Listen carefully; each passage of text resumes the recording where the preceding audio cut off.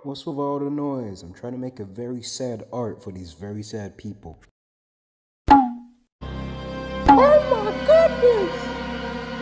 Oh my baby! My sweet baby, oh my god! Oh, who could have done such a thing? who could have done this, man? Dude, would you stop crying over a crack on the shard? It's just a shard. Just a shard? Just a shard? I should cut your dick off. That shard, that beautiful ass shard, is my bitch ass wife.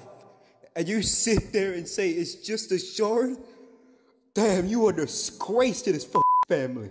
Look, I get that the shard is making us a lot of money, but it's not a living thing. How the f- do you sleep at night with your gay ass self? And of course she's a living thing. We had slow dances and dinner. Jeez, dude, calm down. I'm sure we could find another way to fix it. Kiddo, there's no point of trying. Let's just leave him here until he forgets about it.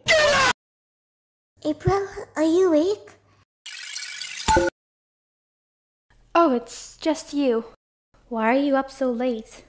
I can't sleep and I didn't bring my toy animals to cuddle with. Can I sleep in your bed with you? My brother doesn't like sharing beds. Um, sure. April, Mm-hmm. are you sure that you're okay? Ever since you touched that shard, you've been acting strange. Well, I've been seeing things. Like, what?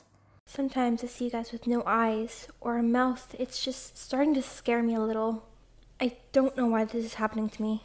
Well, I know it's scary and I would hate to see what you're going through. But whatever you're seeing, you can't be afraid of it. You got to be the strong and protective person to everyone's lives, even yours. D- do you really think so? I know so, because I believe in you, April. You're a very strong girl, and you should be proud of yourself. Thank you, Isabella. It means a lot to me. And it's nice to have someone that makes me feel so special. Night, Isabella.